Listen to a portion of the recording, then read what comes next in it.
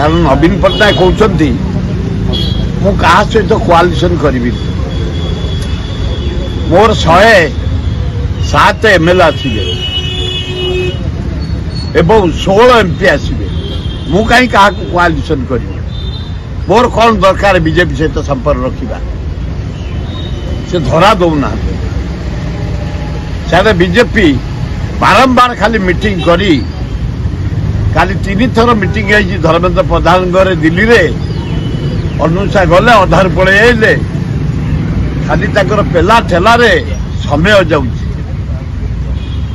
କିନ୍ତୁ ଇଆଡ଼େ ନରେନ୍ଦ୍ର ମୋଦି ନବୀନ ପଟ୍ଟନାୟକଙ୍କୁ ଧମକଉଛି ତେବେ ଯଦି କୋଆଲିସନ୍ ନ କରିବ ତାହେଲେ ଇଡି ପାଇଁ ସିବିଆଇ ପାଇଁ ରେଡି ହେଇଯା ଇଏ ଭୟଭୀତ ହେଇ ନବୀନ ପଟ୍ଟନାୟକ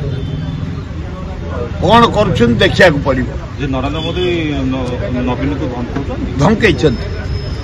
ଯଦି ତମେ ଦଶ ଦିନ ହେଇଗଲା ମୁଁ କହିକି ଯିବା ସେ ଯେଉଁ ଚଣ୍ଡିଖୋଲ ଆସିଥିଲେ ସେଇଠି କହିଦେଇ ଗଲେ କୋଆଲ୍ସନ କରିଦିଅ ତା ପୂର୍ବରୁ ଆସିଥିଲା ସମ୍ବଲପୁର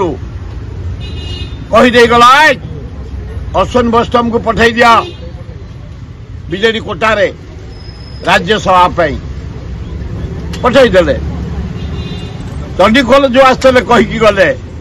କୋଆଲିସନ୍ କରିବା ପାଇଁ ଖରା ଦେଉନାହାନ୍ତି ଭୟଭୀତ ଏଇନା ରହିଛନ୍ତି ସିବିଆଇ କି ଯିବେ ନା ଇଡି କି ଯିବେ ନା କୋଆଲିସନ୍ କରିବେ ଆଜି ଭିତରେ ଜଣା ପଡ଼ିଯିବ ଫାଇନାଲ୍